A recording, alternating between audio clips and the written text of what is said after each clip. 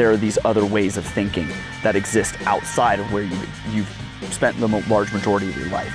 And so all I did was help enrich your reality by sharing with you other ways you can navigate your inner landscape. Most of the things that were keeping me from freedom had nothing to do with the government.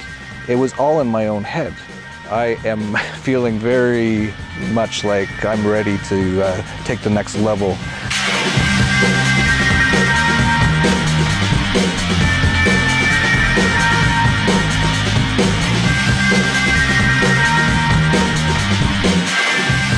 Acapulco, Mexico, this is Anarchast. Hey everybody, welcome to another edition of Anarchast, your home for anarchy on the internet in a beautiful place, uh, Jasper, Alberta, which is actually pretty close to where I grew up. And I'm actually kind of here for a reason. I've been here for about a week with this guy. His name's Jonny Dupre of Process Potential. And I've actually been working with him for about a year, sort of over, just over Skype. And he's, uh, you know, I'll let you describe what you do, but it's sort of like hypnosis, but also so many other things. It's all related. But he actually has been doing sort of hypnosis therapy with me over the internet internet for about a year, about maybe five or six or seven times. And uh, really got to the point where I said, okay, this is actually working. I can see this is working. Uh, but uh, when I was talking to you, you're like, well, it's going to really take quite a while to do. But if we did it all, we could get through a lot of it in about a week. So I've been here for about a week. And I do have to say, I'm a changed person. Um, you will probably see this over the coming weeks and months. Um, the, all the things that I've been kind of talking about, that I've been looking for, and this has gone through ayahuasca, iboga, uh, name any psychedelic, uh, name any kind of physical therapy, uh, pretty much everything. I tried everything, but I always came back to still not happy. Can't figure out why I'm not happy. And uh, Jonny, uh, you know, we'll get into what exactly we've gone through here, what I've gone through, and uh, how it really has. I, I've never felt happier. And it's not like a trick or anything. It's not like, you know, like I'm hypnotized right now and then I'll walk away and, and I, oh, I'm back to, back to bad again or anything like that. Like we went through a lot this week and, uh, this to me is kind of the answer I was looking for and the answer I think a lot of people are looking for and so we're going to get into a lot of that because I want to you know help everyone out there especially anarchists uh, you know get better. Uh, and I think we're all damaged to a certain degree. And, and, a lot of programming, that's we'll get into that as well, programming. You know, it's not just the television programming, it's the programming from your parents, it's the programming from your cult, your culture, your society uh, that I actually didn't realize, but I had a ton of it. And you helped me get it out. And uh, we'll go into all the things I did, but I am a changed person as, as we speak and uh, never felt better. So let's get into it, Jonny. Uh, first question I have to ask you, though, because I ask this question of everyone, uh, just to make sure you're a decent person, is how did you become an anarchist? Uh, for me, I, I actually spent the, the, majority of the beginning of my life falling prey to the programming that most people find, find themselves in. Um, but unlike a lot of people, I had some really rude awakenings early on in my life as to how safe these programs were actually making me due to some traumas that occurred to me early on in my own life. And so as a result, I was forced to sort of look beyond what society would say was normal because I wasn't living a normal life. So as I got older, I had to seek uh, outside of the system, outside of what would be considered typical, and really explore my own answers. And over time, I really believe that. I, I think I started creating the shift in my own mindset around more of a free thinking anyway, early on, to find a solution to what had occurred to me in my own life. And so for me, I believe that, that anarchy or anarchy type thinking started much earlier than I was even aware of. Um, but I really became officially aware of how I needed to shift my mindset on, on a more of a sociological level, uh, probably anywhere between 21 and 24 years old when I met my mentor, uh, one of my teachers, and he really showed me listen, there's a lot more going on than any of us are even aware of. And so I ended up reading a bunch of books. Uh, and then, of course, I came to Anarchapulco uh, to give a, a, a talk, uh, not at Anarchapulco, but at an event that was just after it, and started hearing everyone's speaking in ways that my mentors and teachers had been speaking about and I went there's an entire community for this like I had no idea I thought my teacher was a little uh, little crazy a little nuts a little out there uh, and as a result I've been exploring those thoughts ever since that's great. And one of the things I've really noticed, and this is something that I've been hovering around the idea for a while, and definitely been changing the last few years, is with anarchy related things, we're talking about freedom, about not wanting these government controls over people, not wanting people to be enslaved. And we mm. talk a lot, obviously, about freedom. But what I've come to learn in the last year or two is that most of the things that were keeping me from freedom had nothing to do with the government. It was all in my own head. And I really did not realize it. So we'll try to expand on that a little bit more because I know a lot of you are like, what's he talking about? But really, the bars in my own mind that I learned this week that we actually uh, removed a lot of them were way more detrimental to me, way more, exponentially more detrimental than anything any government has ever done to me.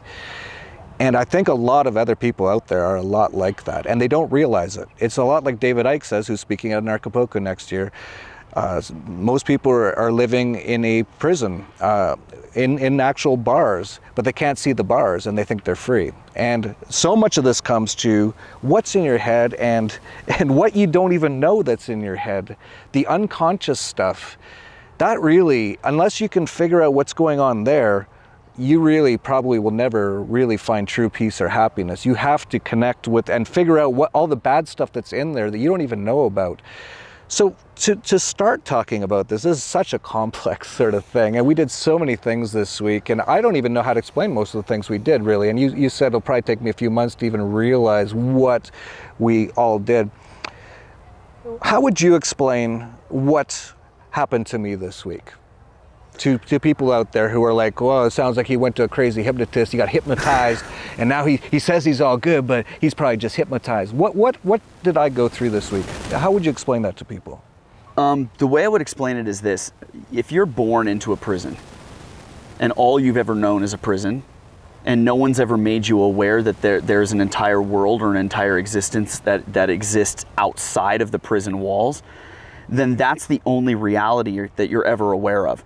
And as a result of that, the way you structure your own reality and your relationship to that reality is built around that context.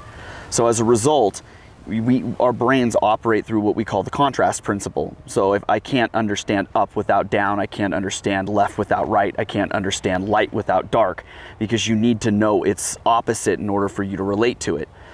This week, I spent a great deal of time with you just showing you different ways you could perceive reality so that you can see a bigger context. And my teacher actually says it's, it's like getting out of bucket land. Like if all you've ever known is you live inside of bucket land, then, then you're actually not aware of the prison that you're within until somebody goes, oh, by the way, there's this other context, there's this other way of living, there are these other ways of thinking that exist outside of where you've, you've spent the large majority of your life. And so what I did is I just helped you to dig through what's a, what's happened to you in your own life in order for you to see the bigger context and the bigger frame that's at play. And you can call this sociology, like I'm looking at the bigger systems that are at play, whether it's government or not. But most of the time, we're just raised in what our parents believed and what our guardians believed, teachers, uh, the people that exist inside of your space, because they're the ones you bounce or reflect your reality off of. And so you coming and working with me gave me an opportunity to share with you some of the realities I've played in. So it acts almost like a psychosocial education in, in shifting and changing awareness so that you learn to guide your attention in such a way as to explore your own your own self-imposed imprisonment. Yeah, um, yeah, I'm still trying to get my head around what exactly has happened, uh, but I've never felt better. I've been felt feeling this way for days, but every day I feel even better. It's, it's unbelievable. And going back and even just looking at my Facebook posts, just to see, because it seems like a week ago that was a different person completely now. And so I'm like trying to piece together. And some people might be out there going, well, it sounds like he went through something crazy. Like, this sounds crazy. It's not that crazy, but it was so much all at once that I'm still trying to wrap my head around it. I remember the first thing though, on the first day, and we spent a lot of time talking that day about just, you know, stuff like what, what have you gone through? And you would dig deeper and you'd dig deeper and ask me, and you'd make me ask questions of myself. And then you'd say, Where'd you get that idea? And I'd go, Well, wait, where is, I can't remember why I think that. And, um, we really dug the first day, if I remember correctly, and I was quite shocked to find out because I say to a lot of people, and a lot of people go, Jeff Berwick doesn't seem to have much fear. He shows up at Bilderberg, he doesn't care. He doesn't seem to have any fear of what the repercussions of what he does when he's standing up to the power structures mm. is. But it turns out I had a lot of fear. And, but the fear was something I never expected. It was an actual fear, and it, this took hours to dig through for me to realize this. It was a fear of my own power. Maybe you could just expand on, on what happened there before we get into the next sort of thing that happened. But like, what? How did we even come to that? And do you know what I'm saying? Like, how did we even uh, come to this realization that that was actually my main sort of fear? Well, there, the the interesting thing is, and, and I don't, I can't remember exactly where I, I read this from, but I really, it, the change in life, which comes down for me to learning, it's all just a process of learning. The the fear of learning or the fear of change comes down to three things. One, most of us believe that if I if I grow or I change or I learn, then I'm going to lose something I have right now. And so we don't even want to start the process because it's like, oh crap, I could lose something I have right now, and I don't want to do that. Okay. The second one is the fear of, of change, which is the growing pains, which is what, what am I going to have to go through in this process of growth or evolution on my way to what it is I want. Okay, and there's that the, the those natural fears of growing pains that just occur. And then the third fear, which is the one that I think highlights this the most, is that we're really afraid of getting to what it is we think we want and then sadly discovering it's not actually what we want. And so I believe that when you combine all three of those fears together, they disappear because they're so prevalent when it comes to change that we almost disappear them or make them invisible to ourselves in order to be, to quote you, comfortable. And so it's it's a it's a matter of getting uncomfortable long enough to discover what's been really at play in your in the shadow, so to speak. So that's what I think we really dove deep into and, and, uncovered what those actual fears were. And, and it was, I remember the moment when you actually came to the epiphany, holy crap, I think I'm actually afraid of stepping fully into my power. Uh, and it was, the, I love the shocked look on your face when you were, you were like, holy crap, I actually think I'm afraid of my own power. And I was like, most people are. We're afraid that if we, if we step fully into that, that we might fail or that we might end up developing expectations from other people in our lives that look up to us and that they'll stick us up on some sort of pedestal. And in that moment we'll lose our human uh, our humanity our humanness. And we won't be able to make a mistake um, have a problem experience a challenge or an obstacle uh, deal with an issue again. And so we just go you know what? Better to stay right here where i'm at because at least i know this. And so really if we want to take it down the ultimate fear is the fear of the unknown or the uncertain Right. And very quickly into this process, and I know we were dealing up to this for about a year with like uh, sporadic uh, two hour sort of sessions. uh, but maybe you have some comments on that, yeah. considering your, your laughter. Go ahead. Why are you laughing there? Um, the reason I'm laughing is because most of the time when when I'm communicating because I'm, I'm trained in unconscious communication and not, and not necessarily fully conscious communication, which for me feels more like an actual education, not indoctrination. Uh, I'm not talking to the one of you that's already limited. I'm talking to the one of you that's always experienced learning in any given moment, even times that you're not aware of that learning experiencing. Um, that I remember actually over the course progression, you continuing to come back and hire me to work with you, even though at the end of every single one of those sessions you were something like, I don't know if this was worth my time, or I don't know if this was good, but you know, I'll call you later, or, or, I'll email you later. And, and that was really funny for me because that, that's a, a direct experience of what we call an unconscious or conscious unconscious dissociation, which is your conscious mind fully wasn't aware of what had occurred, but your unconscious mind's like, something happened, I like this. You know what I mean? And so you have that sort of almost what appears like a bipolar moment. Well, yeah, I have to say this. Uh, we haven't brought up the hypnotism sort of angles to these things, but mm. I was introduced to you actually by Sasha Daygame. That's why you're at Acapulco uh, helping with his sort of uh, uh relationship related things. Mm-hmm. And uh, so I knew he said, You're really good. You're one of the top in the business. Uh, and I'm like, I need the top in the business of anything right now. I'll try anything. I just, I've been, I can't find the answer at all. I'm not even close. And uh, basically, I was introduced to you. Well, he's a hypnotherapist. Okay, so I assume while I'm sitting there, you're going to pull out like a watch. and we, we talk. Monocle. Yeah. Mm, yes. mm. the spiral glasses. So we talked for two hours, and actually, the talking part, just alone, was such a big help because I had held so much inside. Uh, one of my big lessons, I, you know, some of these psychedelics do help uh, in some ways, and one of them was it taught me, for however it did, to that I needed to accept help. It said, "Let others help you." That's my one learning experience for ayahuasca. And I really did learn that over time that, yeah, you can't do this all on your own. In fact, I don't even know if it's possible to do it all on your own from what I know now. I think you need outside help uh, for a lot of these things. But we have one session and we talk about a lot, and sometimes I'm crying and stuff. And at the end of it, I'm like, I don't remember being, he didn't do any hypnosis. We just chatted but I feel better. I just felt better getting it off my chest. And then I go through some more struggles. I call you back. I go, Jonny, let's talk again. We talk. This went on three, four times. Finally, on the fifth session, I went, you know, I, I can tell what you're doing is helping, but I don't know why. And and then I, I just said to you right up front, I go, why do you call yourself a hypnotherapist? Because you never hypnotize me. And you go, yeah, I do. Every time I have. And I'm like, what? Because it's not what you think it is. Maybe you can explain what even here, for example, most of this week, uh, you would tell me afterwards that I was under hypnosis, but we're just chatting. We'll be in a restaurant or anywhere, but you, what is it exactly that you're that you're doing there? Okay, so what I practice is is not the antiquated the antiquated days of hypnosis being uh, relegated to dark alleys and back um, or stages, uh, stage hypnosis and and the days of the pocket watch and all the rest of that stuff. Um, what I actually enjoy is all that we know about neuroscience now. And one of the recent articles that I've read says that the uh, that our unconscious minds are taking in about 400 billion bits of information per second.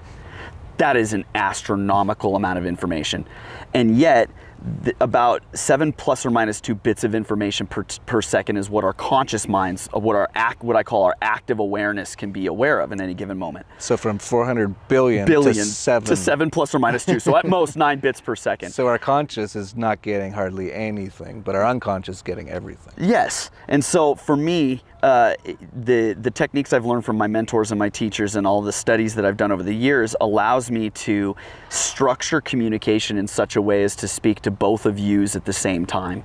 And so your conscious mind gets the learning and the lesson that it wants to pay attention to or needs to pay attention to the most, while the rest of it gets acknowledged by the rest of you.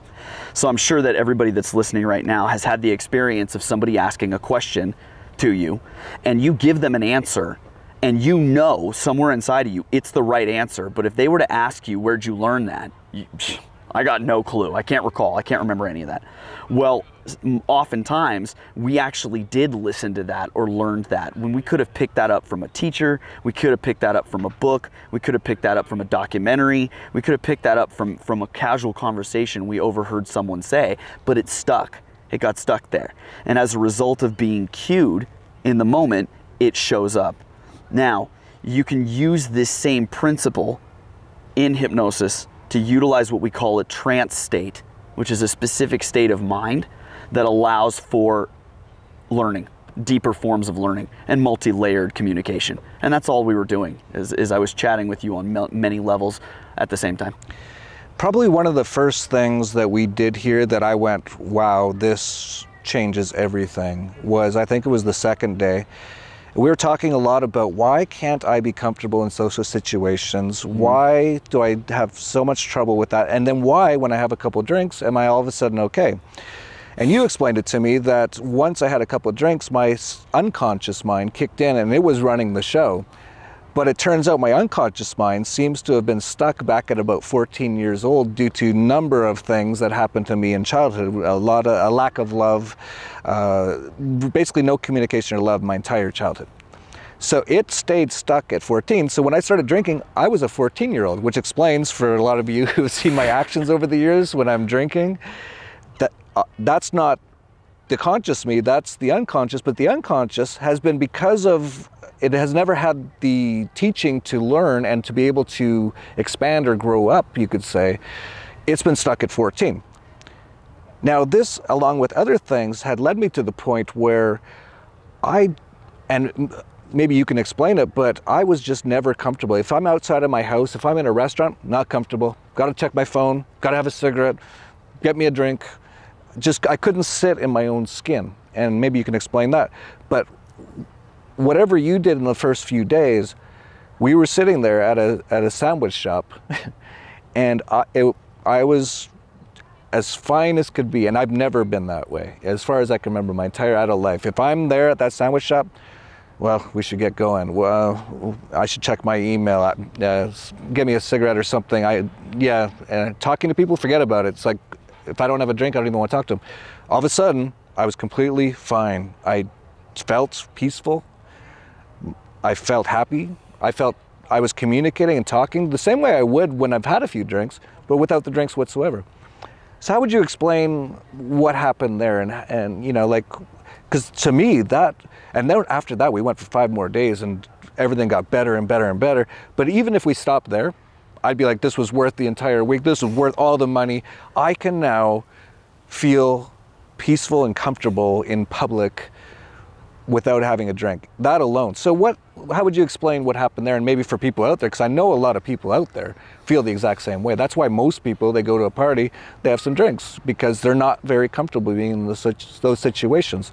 So how would you explain how we how you so quickly in one day it seemed, although we've been working together for a year, but it seemed like al- almost overnight, I'm good. What happened? Um, well, a couple things. Number one, beliefs.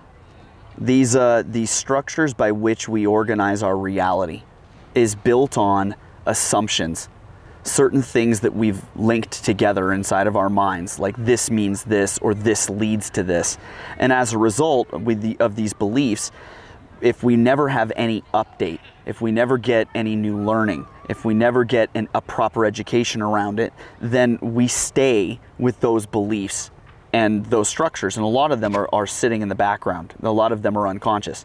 And as a result, we then develop coping mechanisms or defense mechanisms that will allow us to maintain those beliefs. this is called, we call this cognitive dissonance. Okay, and that means that um, you're going to sort your reality or sort information as it comes in to fit into what you already know or what you already believe. This creates stability. But the problem is, is now you're experiencing a stability in any, in any way that's not the way you want. So, so even though it feels stable, it still sucks. and so what I experienced with you is that in social settings, you you would do anything you could to distract yourself from the truth of what was going on emotionally on a deeper level. Anything you can do with your hands, anything you can distract yourself with externally to keep yourself from addressing what was going on internally. And this is a, a, a good defense mechanism if you have no other way to sort your reality and ultimately grow or evolve. And so all I did was help enrich your reality by sharing with you other ways you can navigate your inner landscape, by teaching you how to shift, change, and re-author, redraw your maps for life. Yeah, it's quite phenomenal. Uh, yeah, it's, I still am just a, getting used to it, uh, just feeling good. And I think what you're saying about how when you have a certain belief system in your unconscious for the most part and you're like well this is like that because of this and if that information's wrong to start with you just start piling more and more things on top of it to the point where you get like me 47 and you're like i'm effed up. That's basically how i describe myself to most people. How are you? I'm pretty i'm pretty effed up.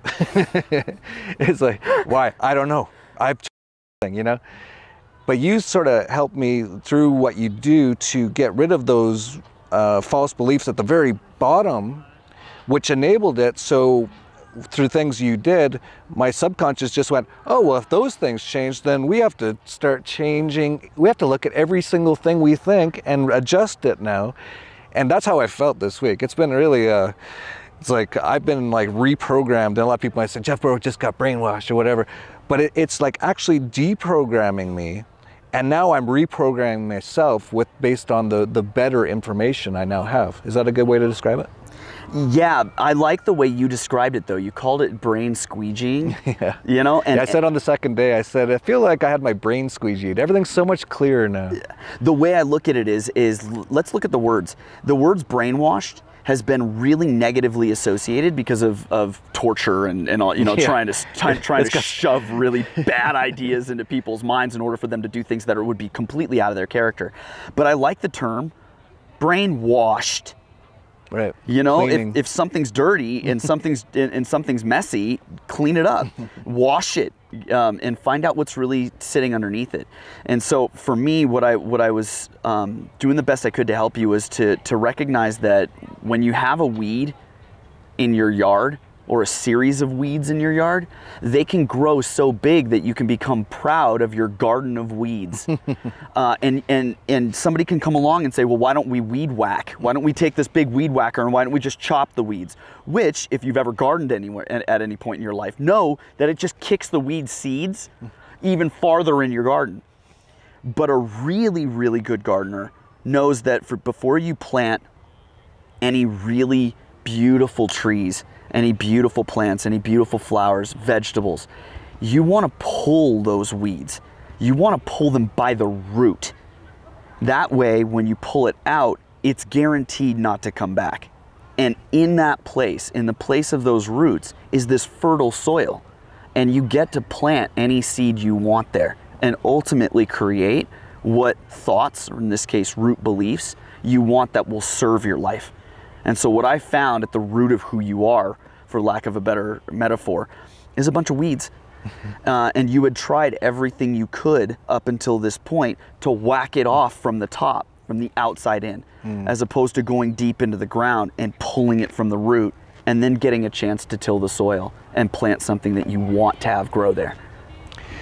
Yeah, it's uh, pretty amazing. Uh, and then we went on, and what I learned is that I had very low emotional intelligence, basically because I had locked myself.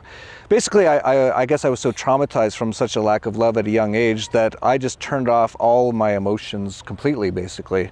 And uh, a lot of people have sort of said that about me. Like Jeff doesn't seem to ever get angry. It's like I don't, I didn't know what angry was. I, I don't feel anything. I've cut them all off because Numb. I was just numb for the most part. So you taught me a lot, and this is just sort of basic teaching. This was sort of like classroom work about how emotions work, and I was like, oh, I didn't know that's why you would feel that way. For example, one thing is uh, anger. Uh, ask yourself right now, if you're sitting there watching, what is anger? A lot of you won't get the correct question uh, answer as far as Jonny understands it. Most people would be kind of confused at the question, right? And I was too. The answer, according to Jonny, is it's uh, how you feel when someone um, breaks your boundaries or, or transgresses against your boundaries, whether it be physically or psychologically or whatever it could be. Mm. So I didn't, I had no understanding of these things, and so you just kind of taught me that stuff. And then we got to a point where we were actually talking in the restaurant and and I just brought up and Jonny said just talk because you have all these new ideas coming up and he needs to hear them so he can help guide me through these these Feedback is important. Yeah. Right.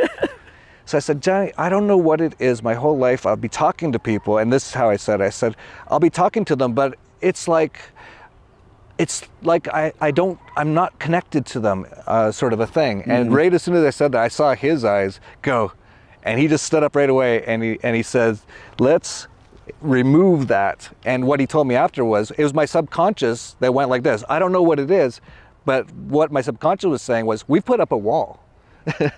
Or it could have been an energetic shield. It could be whatever term you want to use for it block, obstacle. But all I noticed is that your hand went all the way over your body when you said it. And so in my head, I went, what if I just took him literally? And that his unconscious mind is actually saying to me right now, this is where it is, and this is what it looks like, and this is what happens. And so all I did was uh, stand, uh, and if I if I can remember this correctly, I, I believe I stood up and walked over to you, and I went, "What happens if I just do this?" and I grabbed where you had put the the wall, so to speak, and just pulled it away, and then looked, went back, sat down, and said, "And now, how much easier is it to connect?" and it was like almost like I was more connected. It, it was that simple. A lot of these things aren't that. This is what we've been talking about a lot of the week. So many people are so screwed up. I think everyone can agree on that. I don't think anyone would disagree. uh, most people are really screwed up. Now, if you look at our cult, our culture, our society, the schools, the colleges, they're not teaching them anything that seems to work. Uh, if you know, if you got a problem and psychologically, well, take this pill. Now, now, yeah, you're not as uh, angry anymore, but you're basically lobotomized. Yeah. um, it's uh, the typical thing: don't fix the problem, fix fix the symptoms. Uh, and you know, everyone's asking for answers out there, and the, the answer, if I could answer from what I know, and I'm just finishing this first week of like real change it's not that difficult, but it, it's no one seems to know this information. Um, preach. Uh, the, um, I actually, over the last, I'd say six months to eight months, I've been really, really getting clear about this myself and trying to come up with labels because words actually have power. Uh, and for me, uh, the words I came up with, and, and, and there's a lot of people that have been talking about this, is I call it institutionalized ignorance, which is if you want to control someone, Okay, and, and I'm a hypnotist, so there's a lot of, of people who have, are mistaken about what it takes to control someone. One of the best things you can do if you actually want to do that is limit the amount of information they're aware of so that they have to look to you for the answers to these questions. And then what you do is you give them just enough of an answer to appease them until you can distract them. Here's the coping mechanism. You can distract them onto something else. And so for me, I don't think anybody knows this because there is an entire business, a market, a whole lifestyle that's built around ignorance. So if you don't know how to resolve your own problems, then you have to go to a doctor, you have to go to someone who can tell you how to do that. And ultimately, they don't want you as a patient just once. They want to have you as a patient forever. And and that feeds the system. Now, of course, if you go to the doctors themselves and say, you know that you're falling prey to this, most of them aren't even aware that they're involved in this system like that because they've been, quote, brainwashed their whole careers that this is how it operates. Yep. This is how the, the insurance companies work. This is how yep. the laws are written. This is just how it is. Mm-hmm. And so they, they just step into that role as if that's the only truth. Well, I happen to have a different truth. Yeah, and we've been talking a lot this week about how we can uh, help get this out there to people. Um, just like anything, they want the truth to be stopped. They don't want people to get this information, but we don't really care what they want. and uh, we're not going to let them stop us. And you're going to see a lot of that coming from me, by the way. I am feeling very much like I'm ready to uh, take the next level on these sort of things. But we talked a lot about how to really get this out to people. I guess this is actually sort of the first step. Mm-hmm. Uh, the, you know, um, not many. I asked you like how many people do exactly what you do, and you, you're like not many. Not many do exactly what I do now. Right. So, uh, you know, one of the first steps for you is to get this in a way that we can get it out to more people, whether, because mm. you can't talk to six billion people all one on one, right? So you're yeah. working on various ways to do that, and mm-hmm. we'll definitely be keeping up to date on that. Um, we're also going to have you speaking on Acapulco, and uh, you might even do a workshop beforehand. You haven't decided what it might be yet. But you really had some great ideas about sort of why anarchy isn't catching on like it should be, uh, why it's not growing as fast as it should. And it's growing a lot, but it could grow so much faster. And, and you had sort of a few reasons. Um, and, and you brought up the last time you were at Anarchapulco was two years ago, and you said you liked the information, but I, there was a lot of angry people, a lot of fearful people. And I told you that's actually changed in the last few years, mm-hmm. so that's good. But then you said, but I looked at the, the speakers, and many of them were just talking at the people. They weren't having a conversation, they weren't actually really educating. Uh, uh, in, in many ways, it was mostly just here's how it is sort of a thing. And you thought that we should really change that. So this has really affected my thinking on that.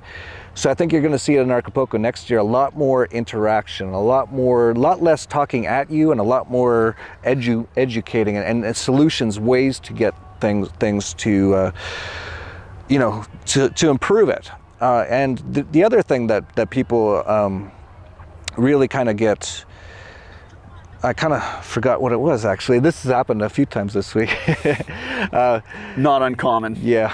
Um, but th- there's a few issues with why anarchy isn't growing. Oh, the, I actually just got it back. Actually, if you just wait long enough, it eventually pops into your head. I'm Just like that. if you're like looking for your keys all over your house and you keep looking and keep looking, but you go, you know what, screw it, I'm just gonna go do something else, Right. and then boom, Yeah. your keys just show up. Yeah.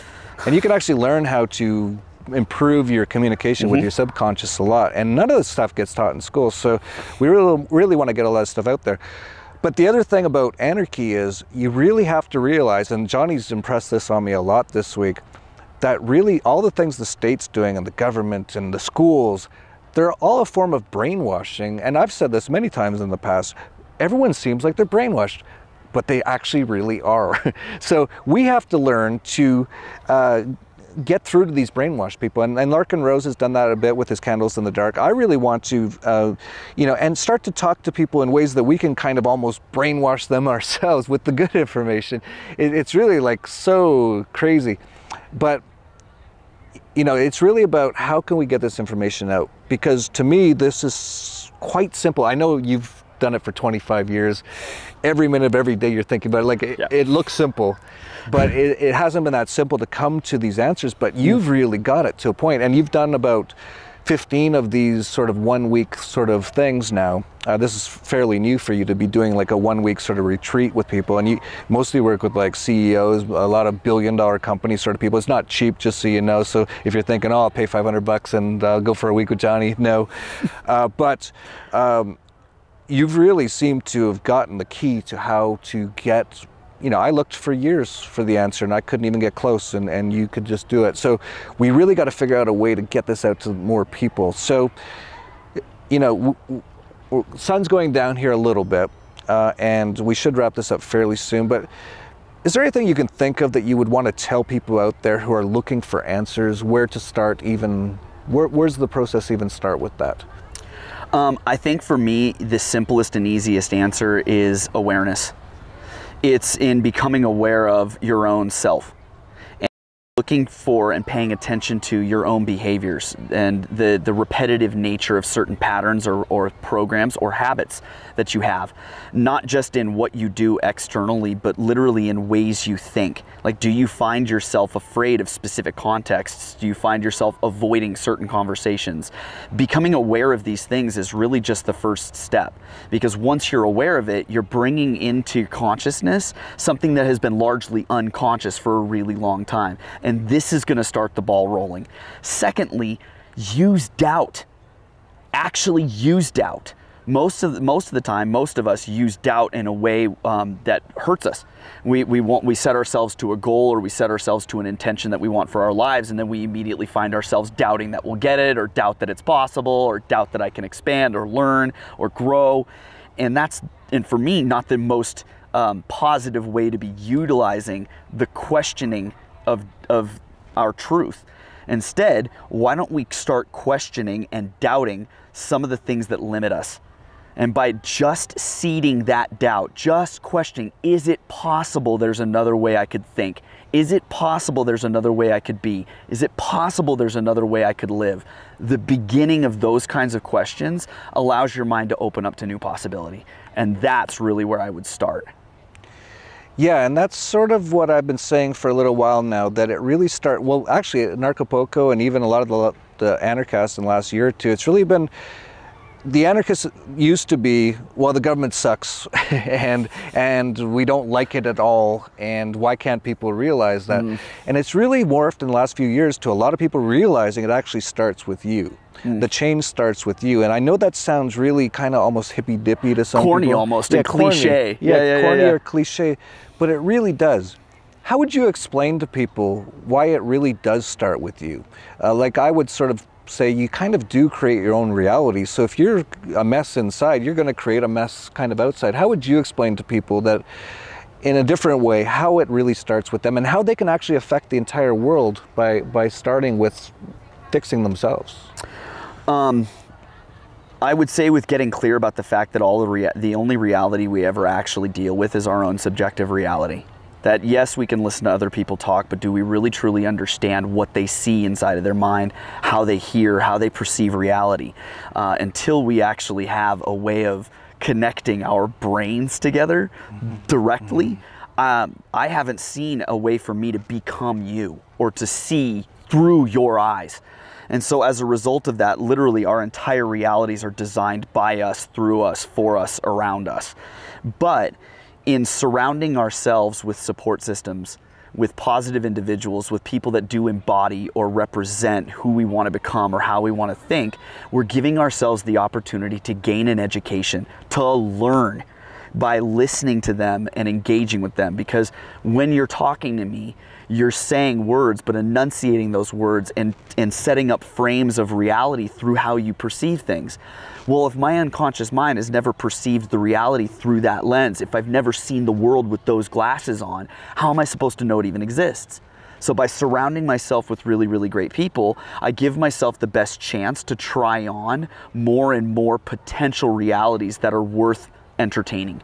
And so as a result, the same thing goes in reverse. The more I work on myself, the more other people that are around me are going to get the opportunity to experience how I perceive reality, and that gives them a chance to see an option or a possibility they never saw before. This is ultimately how we affect people and connect with people on a daily basis. And of course, the more the more people have an opportunity to spend time uh, speaking to the masses like yourself, the more lives you get to share your reality with and the more possibility they perceive.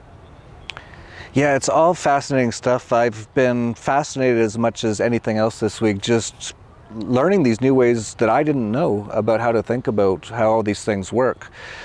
Uh, you know, when I thought about hypnosis, it was a guy with a watch. When I thought about even psychiatrists, it's like uh, it's going to be some goofball with a notepad and tell me about your dad. You know, like it just seemed like but after having gone through everything I've gone through over the last couple of years and trying everything, this really was what worked for me. So thank you very much. I You're owe most you. welcome. I owe you so much. Uh, I can't even explain. Um, it's, it's, you know I can't even explain to you uh, what I'm feeling right now. It's I've never felt it before. Um, and my wife's here, and we we're out in that lake yesterday we were out hiking. This stuff I never did because I was in a box in my own brain and that box is gone now. And so I've actually become much more free. And it's quite beautiful when uh, you realize the freedom you can have. And, and like, uh, like we started off with, a lot of anarchists really get all uh, unhappy about the government, and rightfully so. But I'll, I'll almost guarantee you, it's unless they're actually got you in a rape camp right now and you're getting raped right now due to government laws and government crap, pretty much everyone's biggest problem is probably themselves. And it can really kind of just start with just looking at yourself. Uh, mm. Just when you finish your day, and I've talked about meditation a lot, and I really like meditation. You, are into that kind of mm-hmm. stuff. You you call it more trance or whatever. It's a little, it's kind of a different words for the same similar thing. Mm but just take a bit of time every day and go, you know, what really, you know, happened today and why did I react how I did? And mm. and just think about it. We don't think about it. That's what the television programming's for, is they got you working all day, you go home, turn on the TV, drink some beer so you don't have to think too much. Uh, just as Jonny said, just start with looking at you and and you know keep that open mind. And if you do want to change, have that as your as your intention. what intention um, yep. That was a big thing Jonny talked about this week. Clarity of intention. Clarity of intention. Uh, I knew I wanted to get better, but it was a very vague and. But you know what? I did have that intention, mm-hmm. and I did finally get there, at least to an extent. And there's still a long ways to go. Like you were saying, it's just the beginning, which I can't even imagine at this moment in time. But um, I did have that intention, and I am in the place that I wanted to be now. And it took a couple years, but you can get there. But it takes the intention. It takes looking at yourself. If you find yourself sad a lot or angry a lot, that's your unconscious or your body trying to tell you something's wrong. And if you don't pay attention to it and you don't try to find out what the real answer is, and it's not usually all that simple, you have to actually think about it. It's not as simple as, well, my team lost, that's why I'm angry. No, there's like, if you're generally that way, there's, there's something that you have not dealt with inside. So, so look for those things and just try to focus on, on working on yourself. I've, you know, that's something we've talked about all week, just doing the work. Mm-hmm. And you know, in our society, in our cult, no one really talks about this stuff. It's like just pay your taxes, get your mortgage, you know, watch your television programming. Uh, people just don't talk about these things, and it's the most important thing, really. right? For me, absolutely. Because uh, you are the center of your solar system. So if you really do want to take care of your family, if you really do want to help enrich your friends' lives, if you really do want to help the greater community and contribute, there is no more important place to begin than with you. Because then you get to affect everything else around that. One of my favorite quotes is without you, nothing in your life works. Yeah, yeah, it's uh, you know all the things I've done over the last few years, and a lot of them are great. By the way, he actually Jonny intermittent fasts as well. I've talked a lot about that. I think fasting is great. I've done so many of those sort of physical things, and uh, so many people said I, I do read the YouTube comments. I read them a lot more now. By the way, I've really opened up to this stuff, but uh, I did read in the past. A lot of people said, Jeff, uh, you know, you're doing all this physical stuff, but you're not really dealing with the real problem. And it's and they'd sort of say it's you have to find God or it's inside, and those are actually all sort of similar sort of things. There's there are different ways of explaining figure out who you are connect with whatever this is you know like get that sorted out and so you guys were right the guys who said that but don't disregard all the physical health stuff that stuff Oh is no, still it's awesome im- it's imperative too. Yeah. Because your machine, the your your mind is a is a part of your quote brain, so to speak, and actually, from, from in my opinion, your your mind is literally all of it put together. Um, but if you don't give the machine the optimum state for it to, to reach for these new thoughts, these new ideals, these new methodologies, these new beliefs, you're, you're, you're going to slow down. It's going to take longer to do that too. So all of that stuff still plays. Yeah, absolutely. Uh, so we should leave it at that. Uh, my wife's here. We're going to go for a wonderful Italian dinner tonight after spending the day on the lake and all this stuff I've never done. Actually, my my wife's in shock. You've seen She's her. in shock. She's in shock. She's in shock. She's yeah, she's literally in shock. Uh, she's like, "What's going on? Who are you?" Uh, but she's very happy about whatever's going on, so that's great. And uh, so you're going to be at Anarchapulco next year. Super happy about it, by the way. I think I just got to say, I think Jonny's one of the pieces that we've been missing, and and you know the the thing that you bring to the table, we we have not gotten to yet, and that's this sort of subconscious conscious stuff. This answers a lot of the questions. This is what we've been missing in a lot of ways. So i'm really happy that jonny's going to be speaking there. He's going to be doing i guarantee you that your, your talk is going to be one of the best talks because i just know what you do. Uh, you might also do a workshop beforehand. We'll see how that goes. We'll plan on that uh, uh, you know uh, later in, in time. Is there anything you want to let people know if they want to uh, for example your company if they do are interested in working with you? I know you're incredibly busy and all that but maybe you can just uh, let people know if they do want to follow you in one way or another uh, yeah, they can yeah. If they want to check me out, you guys can check me out at processyourpotential.com. That is uh, that's my therapy website, and um, I'm also the new co-owner of a company called Your Charisma Coach. Uh, and what we do is we help guys and gals who uh, who have social anxiety and, a, and, a, and um, when it comes to social interactions, they want to grow their emotional intelligence and their social intelligence, and really show the world what they're made of. Uh, to develop those uh, charismatic principles and really imbue them into everything in their life in order for them to become not just charming, but to truly live a charismatic life. So those are the two best ways to get a hold of me is to check out those websites, uh, or you guys can email me at Jonny, which is J O N N Y at processyourpotential.com. That's awesome. I didn't even know you had a website. That's how busy I am. I, Sasha just said you were good. So I'm going to check out your website just see what's on there. Um, and yeah, like I mentioned, you're going to be around uh, at Anarchapulco, and uh, you're. I know you're working on so many things. So as you come out with uh, more things that you're working on, we'll definitely have you back on and talk about them because I think it's so important. And once again, thank you very much, my friend. An Uh, absolute pleasure, and thank you for the chance to, to help support you in your life. Oh, thank you. I, you know, thank you.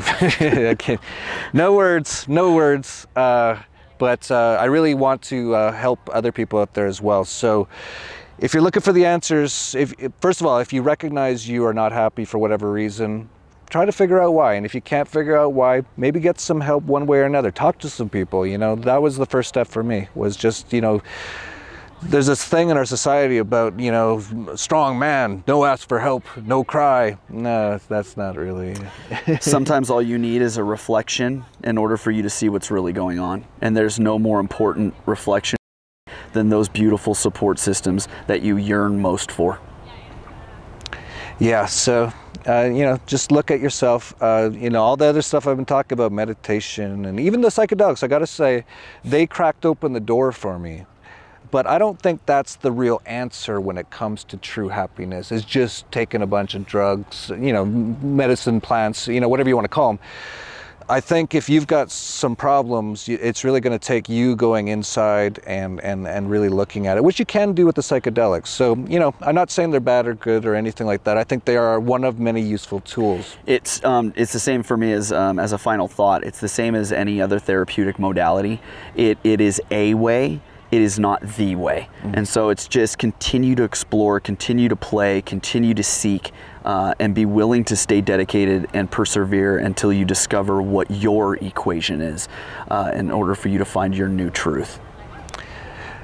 Couldn't say it any better. I think the best to leave it at that. And uh, uh we'll put the links to all your stuff down below. And uh, you know, if you out there and you, you like this video, please uh, like, subscribe, share down below. Share it with people if you see them kind of hurting. Everyone's hurting. I don't know. Everyone I, I see, everyone's hurting. So we got to get this information out to them one way or another. There is hope, uh, and it's not that hard. It is hard. Uh, it is really hard for a lot of people to look at themselves. Mm. But when you really think about the mechanics of what I had to do, it wasn't that hard. Like the mechanics of it. No. I had to spend a couple weeks talking this stuff out and looking in the mirror and getting a person who knows how to to help me reorganize my stuff.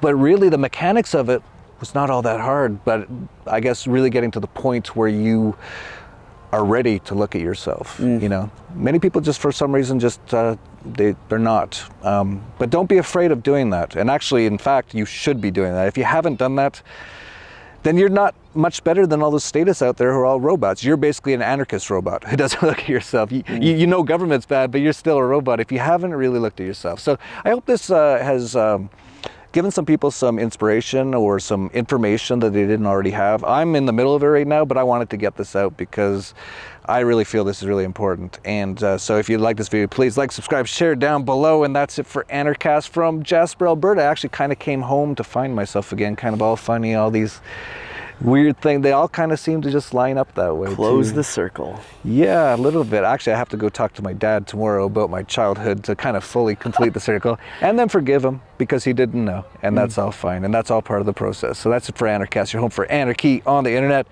Peace, love your peace.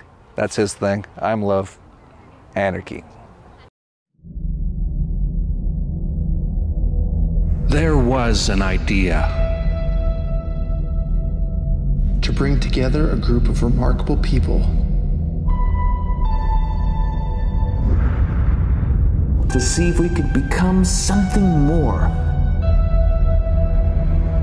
So when they needed us, we could fight the battles that they never could.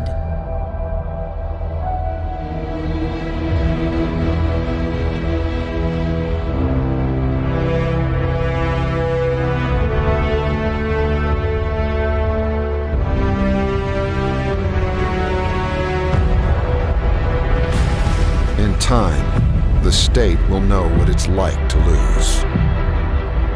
To feel so desperately that it's right, yet to fail all the same. dread it, run from it, freedom still arrives.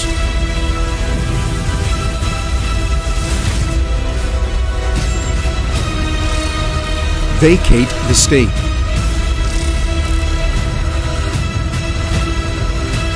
Engage all the speakers and get this man a microphone.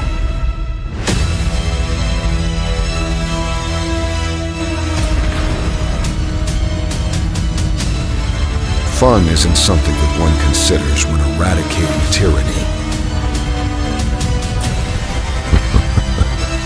but this does put a smile on my face.